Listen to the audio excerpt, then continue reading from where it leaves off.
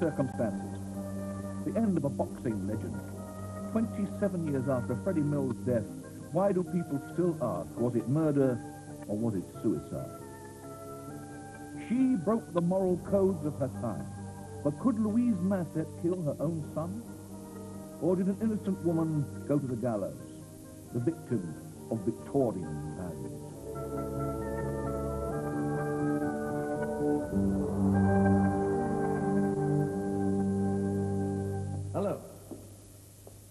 Edward Woodward.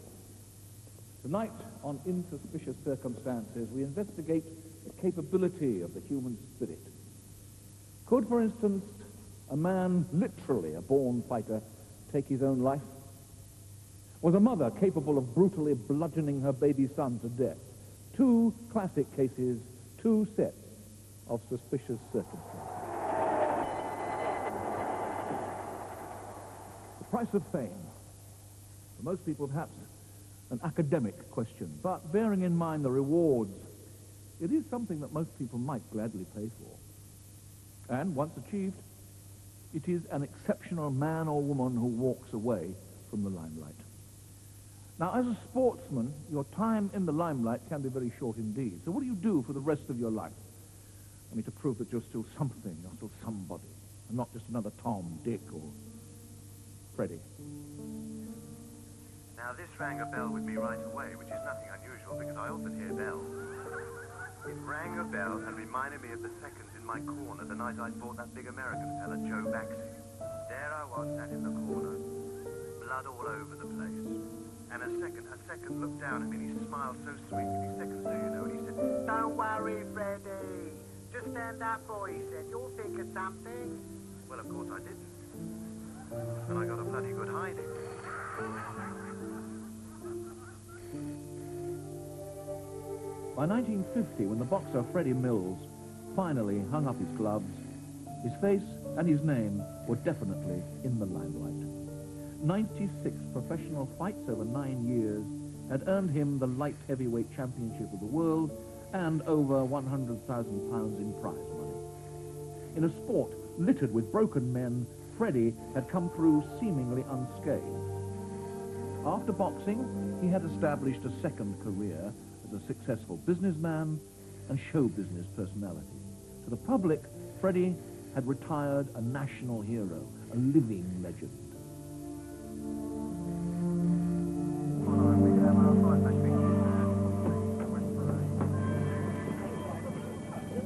Freddie Mills was found dead in the early hours of Sunday the 25th of July, 1965. He had been shot at point-blank range through the right eye with a .22 rifle.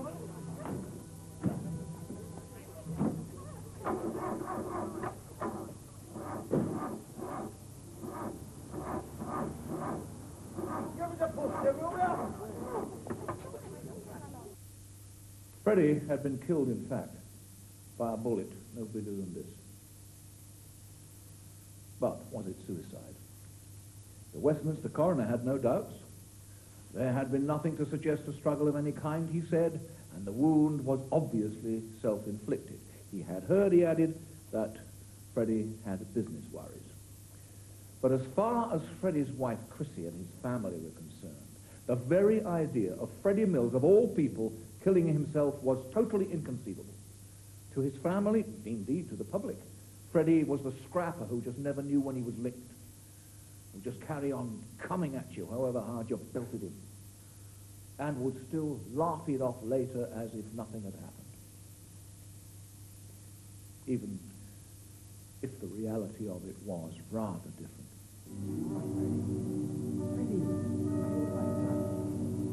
Look at me. Are you all right, Freddie? Ted Broadribb, Freddie's manager and father-in-law. Look at me. Him.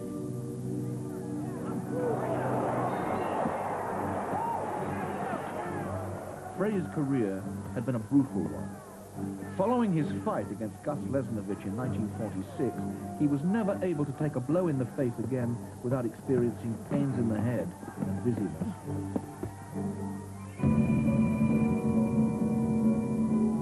But the level of punishment then thought acceptable meant that only three weeks later Broadribb steered him into the ring for yet another battery.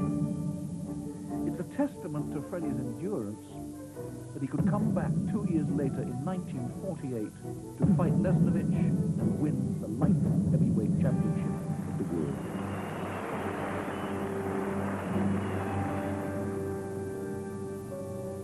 Perhaps Freddie should have quit then when he was ahead. But then Freddie didn't know the meaning of the word, and of course there was the money. So Freddie slogged on for two more punishing years. After that, even Broadribb decided that enough was enough. Not that Freddie was in on the decision. Chrissy! Chrissy, have you read this? Eh? Mills quits the ring, it says, and that is definite. He's retired me. Your father's bloody well gone and retired me.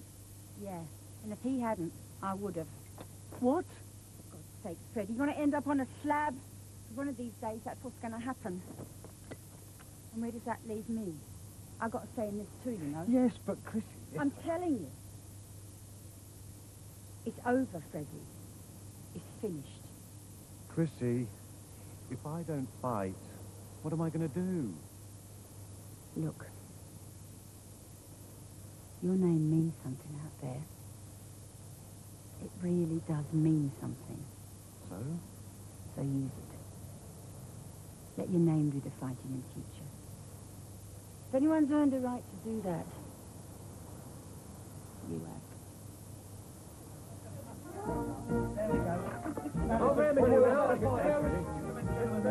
get the name in, all right? Freddie Mills, Chinese Freddie Mills. And use it they did. Freddie and his partner Andy Ho already had a thriving Chinese restaurant in London's Charing Cross Road. With that, and a regular stream of television and radio appearances, the future seemed positively rosy for Freddie and Chrissy Mills. But by the late 50s, London was awash with Chinese restaurants, each competing for trade. So, 13 years after he quit the ring, Freddie embarked on the biggest gamble of his career, turning his restaurant into a nightclub, Freddie Mills Night Spot. Well, it made sense. After all, Freddie was a great showman, bubbling personality, and showbiz pals. Freddie's name and face could still pull in the punters. To his friends, however, his biggest gamble would be his greatest mistake. It took Freddie into a world he knew little about, where money was really all that mattered. It brought him new pressures. Sorrow when our love was breaking up, memory of a broken heart. Later on the joy of making up, never ever more to part. There's one thing left to do before my life is through. I've got to take you for my wife, then the story of my life can start and end with you.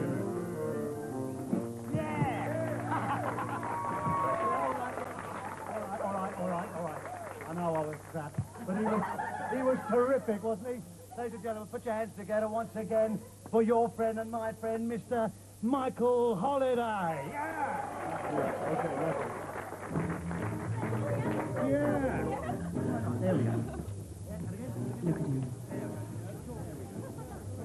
He never had time for young girls when he was boxing. So he's making up for it in middle age. Yeah, in a minute, darling. I'll be back in a minute. What? So, who are we talking about then? Hmm? Who are we talking about? You, of course. Who else?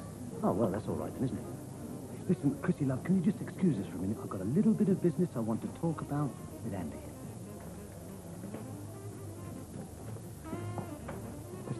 Give me another hundred, will you? I'll it short tonight. Another hundred?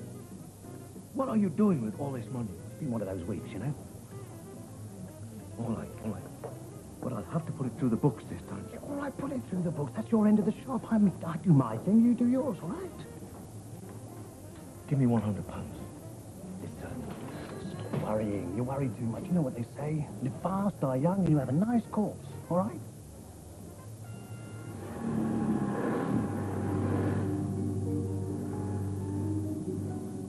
But if there were pressures, there were also consolations.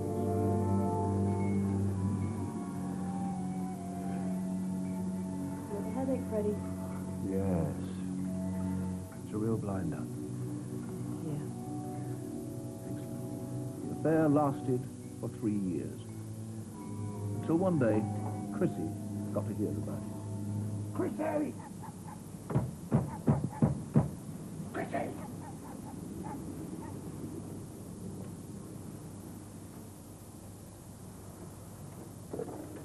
Chrissy! Open the door! You've locked me out! That's right. Well, what am I going to do? Why don't you go back where you've been? Chrissy! Chrissy!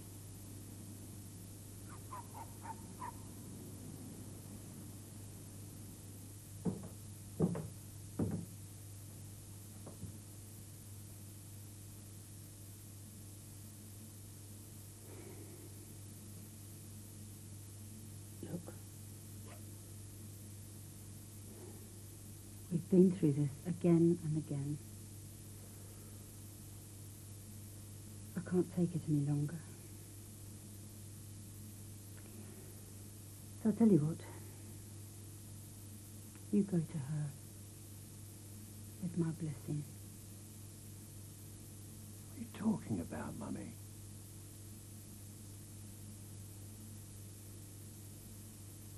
Me and the kids got to live our own lives.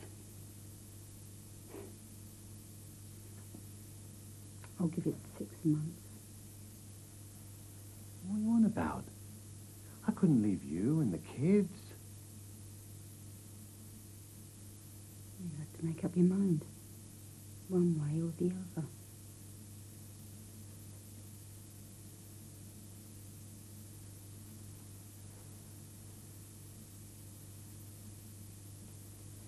Here. What's this? It's her key, isn't it? What? The key to her flat. Just take it. Get rid of it.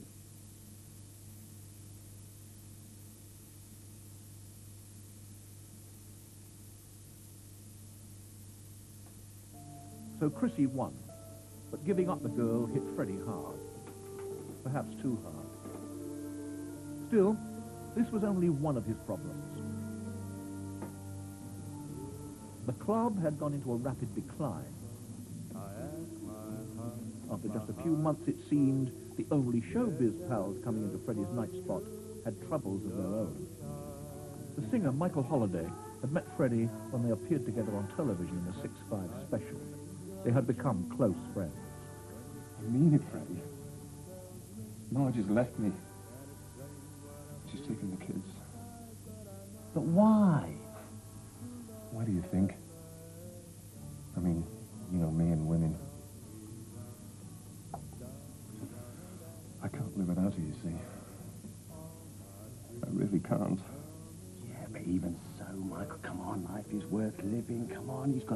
Hasn't he, Mummy? Yeah, it'll work out. Of course it will, of course it will. Freddie talked to Michael Holliday for several hours. By the end, he was convinced that his friend had been talked out of suicide. It's true, come on, let's have a drink. The next morning, Holliday was found dead from a massive drug overdose. Freddie was devastated. The day after Michael Holliday's death, Freddie Mills resigned from the Samaritans. He told Chrissy, if I can't talk a man out of suicide on my own doorstep, what the hell have you survived with the Samaritans? Did that sense of failure, I wonder, hound Freddie to the grave? There was failure enough. His nightclub, a broken romance, the loss of a close friend. But perhaps more importantly was the fact that by the now swinging 60s, the face and name of Freddie Mills didn't quite fit anymore. New personalities replaced him on television and radio. To put it cruelly, he was becoming a relic of the past. Fifteen months after Michael Holliday's death, did Freddie also decide to throw in the towel?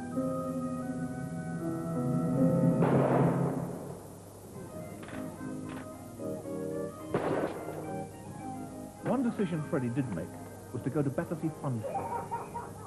Six days before his death, he visited an old friend, May Ronaldson, who ran a shooting gallery. Hello, Freddie. Show us how to do it. Uh, no, thank you, love. I mean, you know me and guns. I'm, uh, I'm opening a fete on Saturday, see, over at Esher. And I wanted to go as a cowboy, and I need a rifle. I thought you just said you didn't like guns. I can't be a cowboy without a rifle, can I, May? No.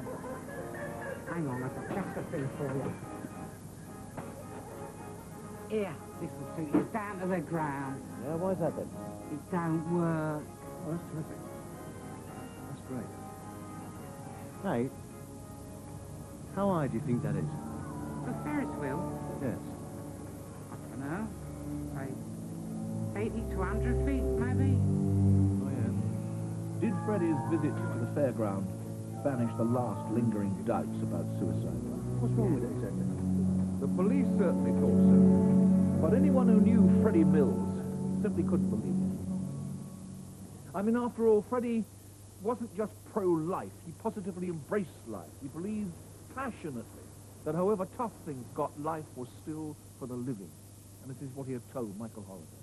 Your mother gave you that life to do something with, not to waste it. Now you just remember that, all right?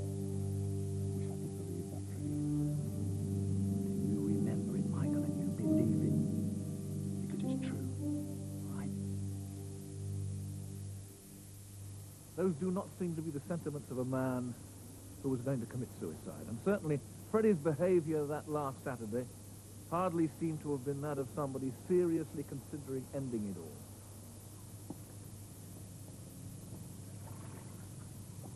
That day, Freddie's routine was like any other Saturday. He bought his week's supply of cigarettes, spent a large part of the day working in the garden. How are you doing then? Terrific, Mummy. I'll just finish this.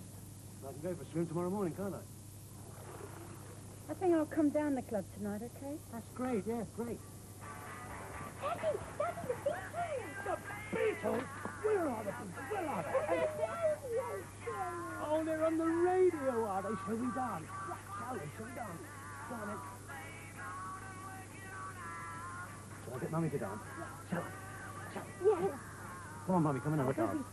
Come on, come and dance.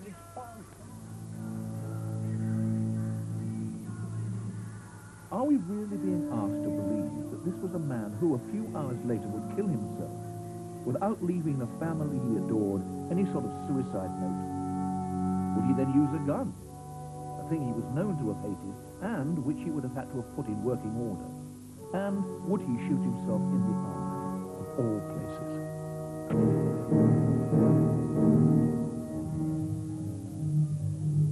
Let's take a closer look at just what is alleged to have happened during those last three hours of Freddie Mills' life.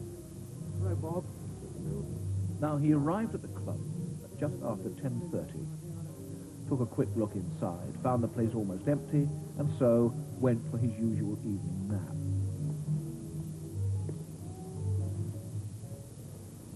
And he was certainly alive half an hour later when Bob Deacon, the doorman, came to the car.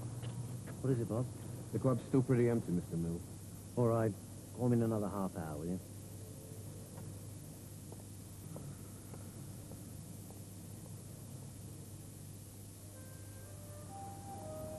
When Deacon went back half an hour later, Freddie was now in the back of the car, apparently asleep.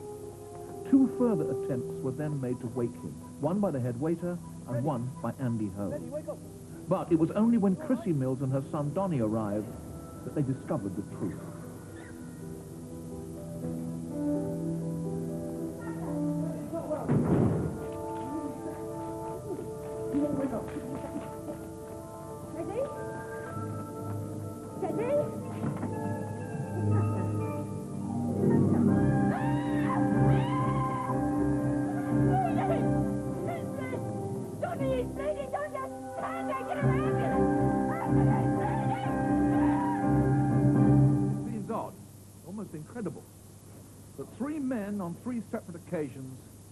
Try to waken Mills without one of them even realizing that he'd been shot. But the mystery doesn't stop there. If we look at what was supposed to have happened here inside the car. First of all, there is the matter of the mysterious second bullet hole. Two shots, not one, were fired from the rifle that night. One of them into Freddie Mills' brain, the other into the door, here. And the police explanation for that? That Freddie had, first of all, attempted to shoot himself while sitting in the driver's seat of the car and had, well, missed, you see. And then he had decided to repeat the exercise from here, the back seat.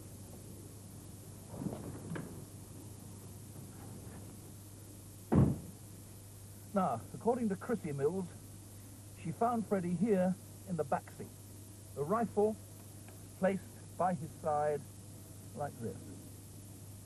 Freddie's face was slumped forward, so, and his hands placed like this on his knees. Now, no position is really comfortable for shooting yourself with a 2-2 rifle in the back seat of a car. But the most likely, if not ideal angle, surely, would be this. However, if he did shoot himself from this position, the gun would surely have fallen away from Freddy onto the front seat. Now, it would have been just about possible for Freddy to shoot himself from this angle. But if he had, could the gun have then fallen down into this position? Hmm? I suppose it could have. But then would his hands have ended up here? Now, some would say that this was pushing the bounds of probability just a little too far. But if it really was murder, then who murdered him? This was Soho in the 60s, and Freddie's club had already been the centre of call girl scandals. In those last days, all sorts of unsavoury characters had started patronising the place. And it wasn't the likes of Bob Hope and Jean Simmons that Freddie Mills was rubbing shoulders with anymore. Hey, Freddie! Ronnie. How are things, all right? Great, great. Couldn't be better.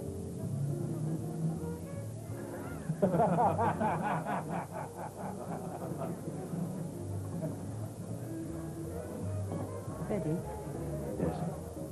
you know who those two are, do you? You've just been talking to. Well, of course I do. They're the Krays. Well, what's the problem? Well, from what I've been hearing, they're the head of just about everything that's rotten in London. No. Really?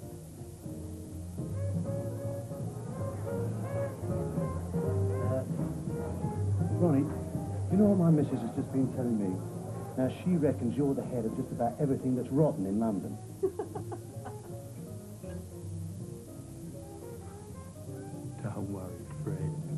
We wouldn't hurt you, mate. You know that. Freddie's world had shrunk from that of international celebrity to the seedy sidelines of the Soho underworld. Did it eventually drag him under? By the time he died, his prize money of £100,000 had all gone. His will left £347, and his house had been secretly mortgaged for £4,000. No one has ever satisfactorily answered the question, where did the money go? Was Freddie the victim of an extortion racket? On that fateful night, did Freddie's inability or unwillingness to pay exact the ultimate price? The murder theory must, despite its plausibility, remain speculation. Perhaps in her highly emotional state, Chrissy Mills may have been mistaken about the position of the gun, and indeed the position of her husband's hands. Perhaps it wasn't really gangsters that killed Freddie Mills, but depression brought about by his worsened financial situation, his, his headache, the growing realization that suddenly his name, his face, and his position had gone, along with everything else. Perhaps.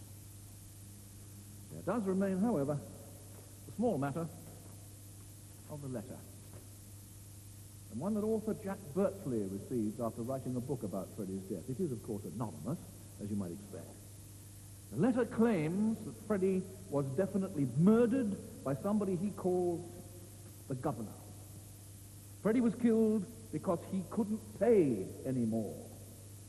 The writer of the letter had in fact been offered the contract himself, but had turned it down because he liked Freddie. Freddie had not in fact borrowed the gun to kill himself with, but for his own protection. And on that last night, Freddie had fired the gun and managed to scare off the hitman who had been sent to kill him. Well, that would explain the bullet hole that went into the car door. But then the mysterious governor turned up, somebody, the letter says, who was still trying to make his name up west. And because Freddie knew him, he relaxed. And it was then, according to the letter, that Freddie made his fatal mistake and when the governor seized his chance and killed him. So, a crank letter, the violent fantasy of some ex-con. Well, as a confirmation of his credentials as a professional hitman, the writer also claims to have carried out a contract on a London prostitute called Black Rita. Black Rita certainly existed. And Black Rita was certainly murdered.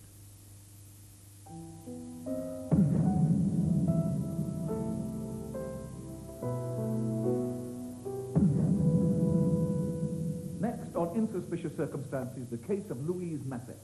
Did she commit the unthinkable and murder her infant son, or was she the innocent victim of Victorian values?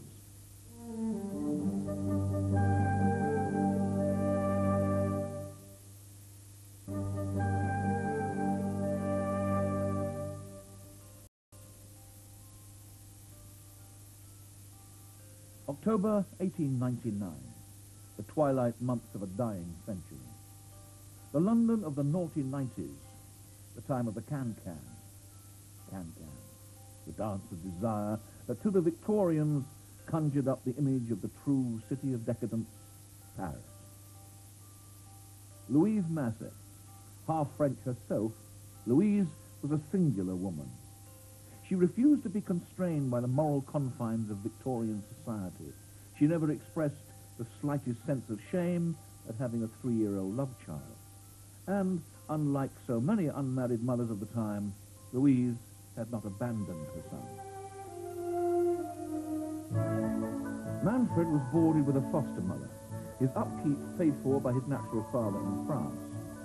Louise visited him regularly, and to all who knew her, it was clear that she loved her son very much. But on this particular weekend, Louise had other loves, other desires.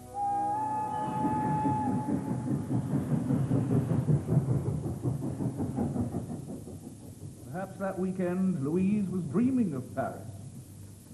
Paris, however, was too far away for a stolen weekend of passion. But Brighton wasn't. And wasn't Brighton the Paris of the British? Brighton might just be possible with a little harmless deception. Perhaps her dream was stirred by such a poster in a railway waiting room. Certainly Louise was unaware that it was the waiting room itself that would shape her destiny. Or rather, three such railway waiting rooms. The first, where she and her son were seen together for the last time. The second, where the boy's body would be found naked and suffocated. And the third, in Brighton itself, where she would greet her lover and where the clothes of her dead child would be found. In the first week of the 20th century, Louise Masset was hanged for the premeditated murder of her son Manfred. Did an innocent woman go to the gallows?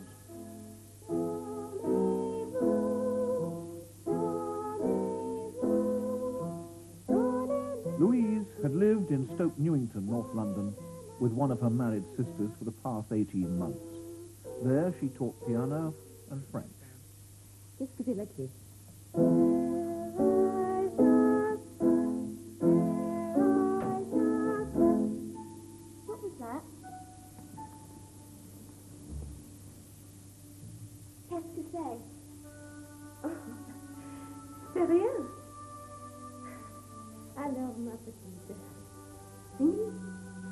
off with someone else.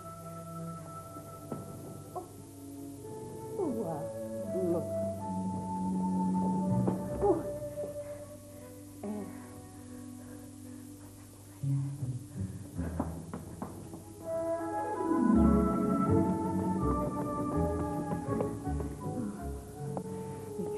Break the glass next time. Lucas was literally the boy next door, a medical student 19 years old. Throwing stones at windows. I feel like a schoolboy. My best pupil. You remember what I taught you?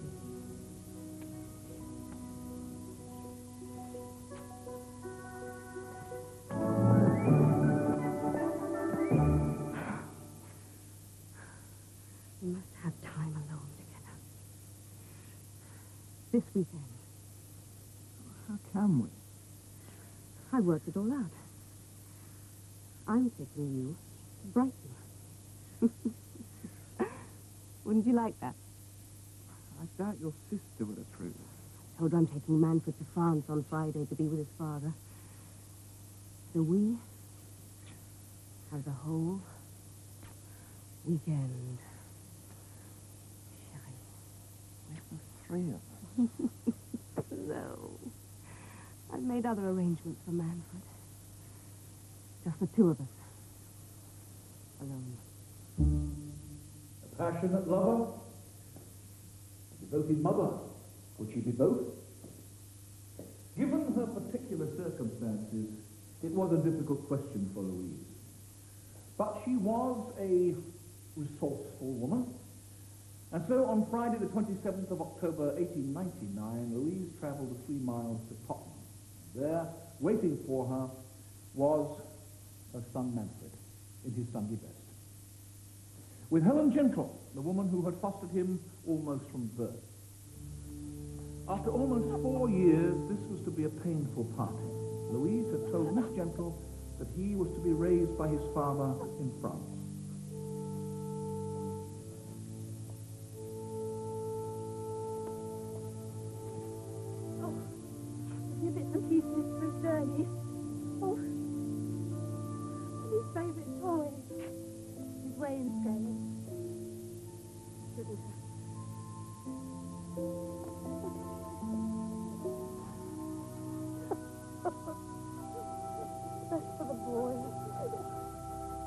I wouldn't otherwise.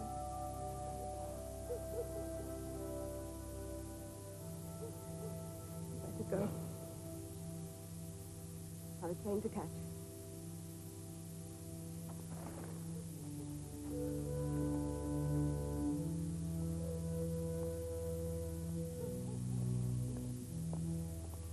The next time Miss Gentle saw Manfred was to identify his body in the local mortuary.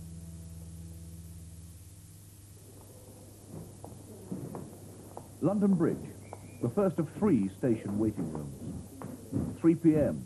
The Brighton train was to leave within the hour. Mrs. Reese, the attendant, had just started what would be a long shift. I know you want to stay with Helen. Going for a train? No. We're waiting for someone, but they haven't arrived. What's sweating him? He's had to leave his nurse.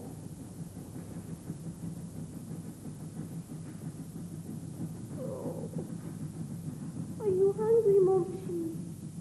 This was the last sighting of mother and child together. At the trial, Louise Masset did not disagree with Mrs. Reese's account of their first meeting, but she did disagree with Mrs. Reese's statement that she saw her four hours later at 7 p.m. alone washing her hands in the washroom.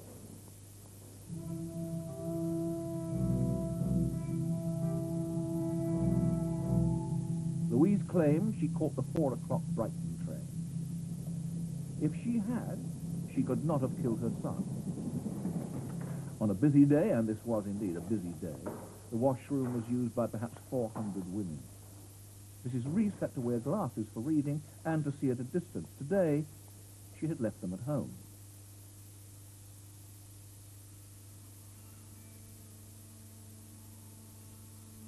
But this is another washroom in the ladies' waiting room, Dalston Junction, Louise's local station, more than half an hour away from London Bridge.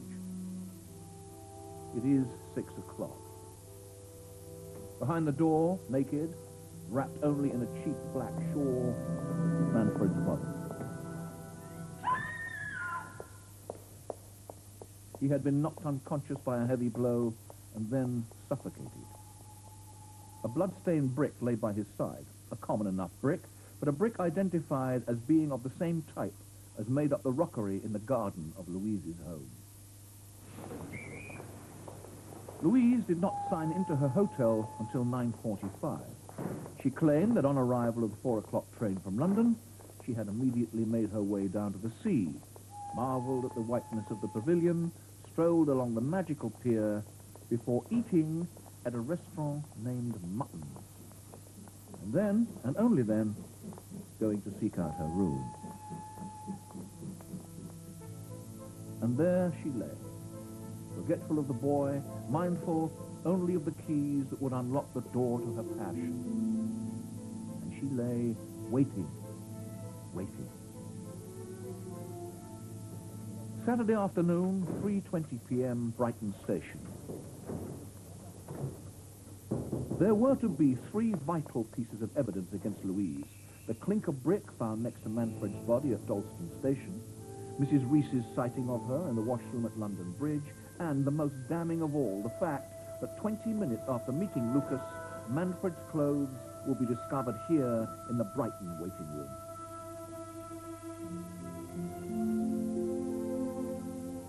Louise was to pay dearly for a weekend of love. The two of them returned to London on the Sunday night. On Monday, she went to work as normal. Manfred was identified in the newspapers on Monday evening. Later that night, an apparently distressed Louise appeared at the house of her second sister in Croydon, claiming to have just read the report and panicking that the police might suspect her of the crime. There she was arrested and charged by the police.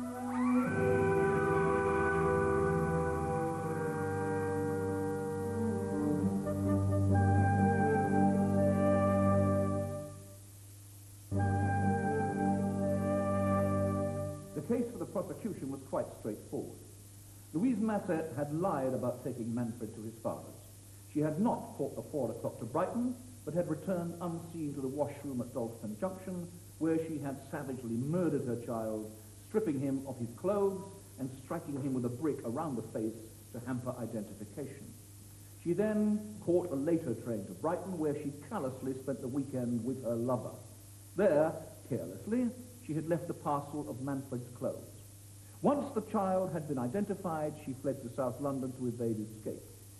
It was, the prosecution argued, abundantly clear that Louise Masset was a willful, intelligent, self-possessed, and shameless woman capable of anything. The defense asked if Louise was so intelligent, so calculating, would she have created lies so easily exposed? No motive has been suggested, but in English law it is not essential. But would such a woman, even with a motive, be so unwise as to take a brick from her own back garden, kill the child in her local railway station, leave the murder weapon by his side, wash her hands in the very waiting room they had just been seen in before, and then carelessly leave the child's clothes in Brighton Station? If then she panicked, would not such a resourceful woman find a better place to hide than her sister's house? And why, most of all, would a woman wanting sympathy on the death of her child choose to offend the moral codes of decency by spending the weekend in Brighton with her young lover? Besides, Louise had her own version to tell. The prosecution considered it a fantasy, a pack of lies, a fairy tale. A fairy tale it might be. If it is, it is one worthy of the Brothers Grimm. Louise's story begins with a chance meeting in a London park in September 1899. Good afternoon. This is Millie. How do you do, Millie? Very well, thank you. Good. You're very pretty. What can I do? Who wants to The children bumped into each other regularly in the park. And of course, the mothers began to talk.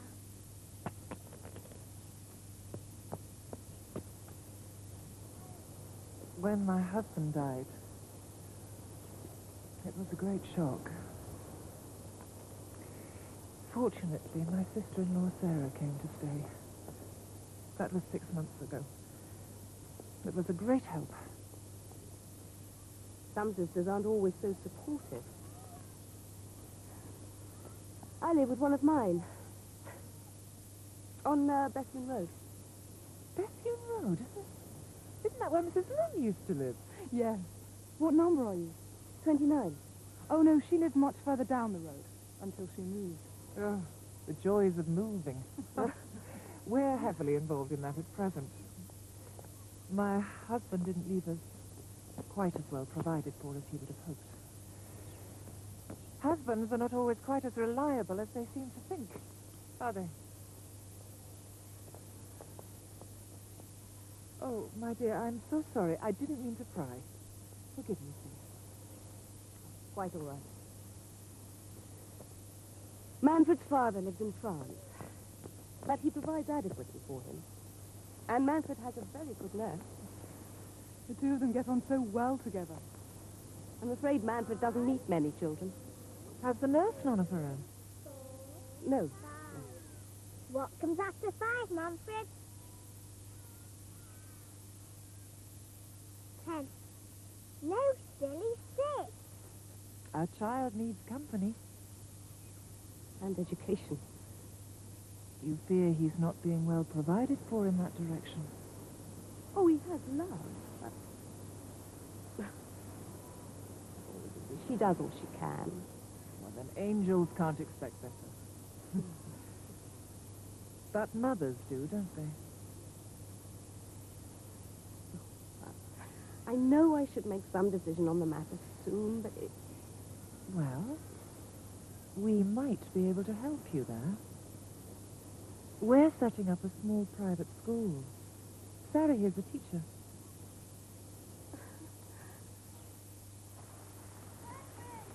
Louise and the Brownings agreed to meet again the following week.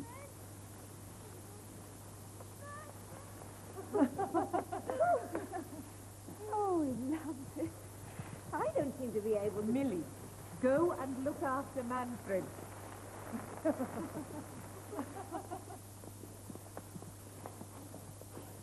Oh. She's so good with him. I didn't think you'd be out in this weather. We have some good news. Sarah and I have taken a lease on a house with a closed garden at the rear. It will make an excellent school with accommodation for six children. We have a number already, but, well, it would break Millie's heart if Manfred were not one of them. And where is it? Uh, King's Road, Chelsea. Oh, it's, it's a long way away. I... Oh, it's really not that far. You'd still be able to visit every Wednesday. Yes, but it... The nurse? I, I don't want to hurt her feelings. You don't want to deprive your child either. We don't want in any way to force you. But uh, at the rate we offer for the year, well, you understand. We can't wait.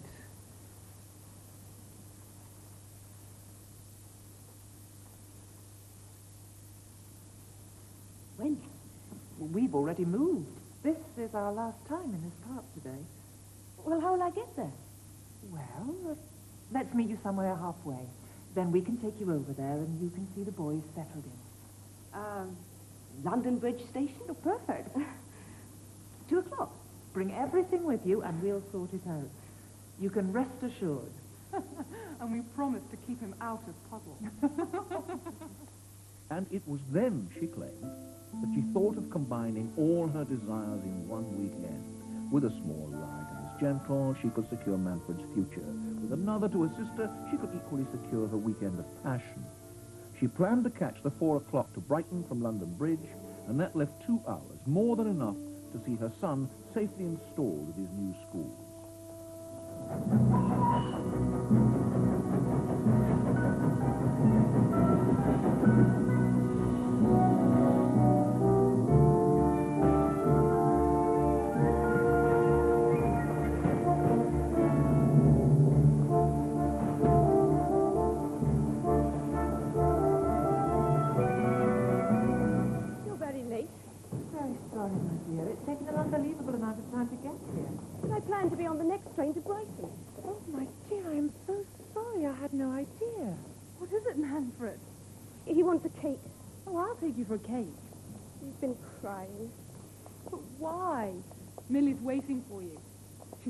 Got games out in the playroom.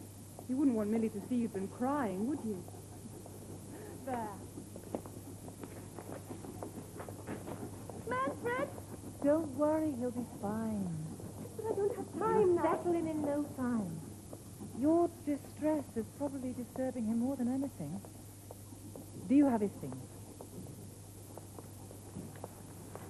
And do you have the twelve pounds? I, I, I'm not... 45 Kings Road. Do you think you'll remember that? Look, as soon as I get back, I'll write you a letter with a receipt and full directions and let you know he's settling in. Then you can be with him on Wednesday. Children are always like that. Bite of a cream cake and they've forgotten everything. You go and get some sea air. Treat yourself a little. Wednesday. You'll be a different boy.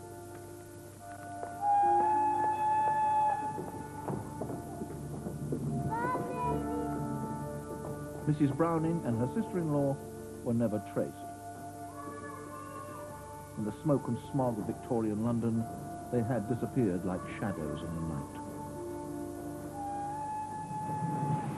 It was reported that as they tied the noose round Louise Masset's neck, she whispered, What I have to suffer is just. Justice has been done. Perhaps it was this moment, this simple failure to be a responsible mother, that was to haunt her to the end.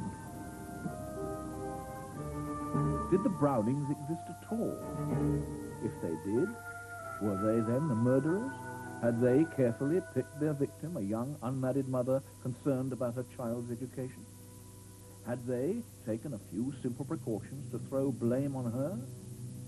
The brick from her garden left conveniently by the body, and then perhaps a little outing with a small parcel of clothes to Brighton Station.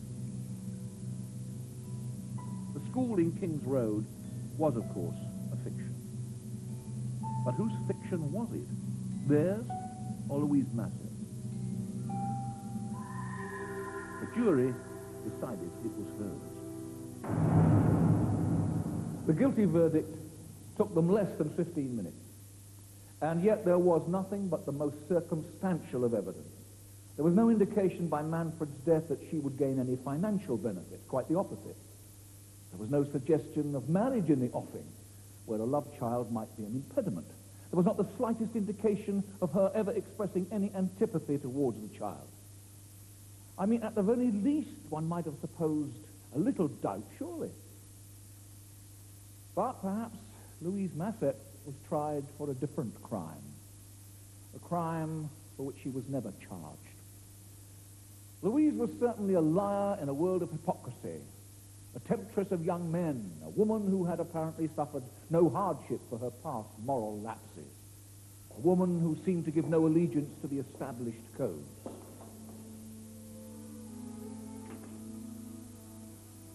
Were the jury themselves guilty, punishing her as a warning to others? Was that the factor that weighed most heavy on the scales of justice? Days prior to the execution, the owner of Mutton's Restaurant Brighton, together with a waiter, signed official statements that Louise Masset ate on their premises between 6 and 7 p.m. on the night of the murder. The defense asked for an official stay of execution to allow positive identification to take place. The Home Office refused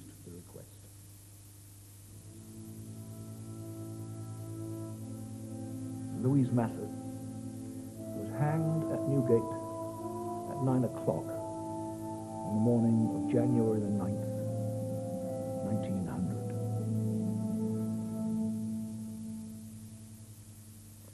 It is an interesting thought, is it not, that the next woman to hang at Newgate was Ada Chard Williams, executed for the murder for profit of a two-year-old illegitimate child which had been fostered out to her by a young, unmarried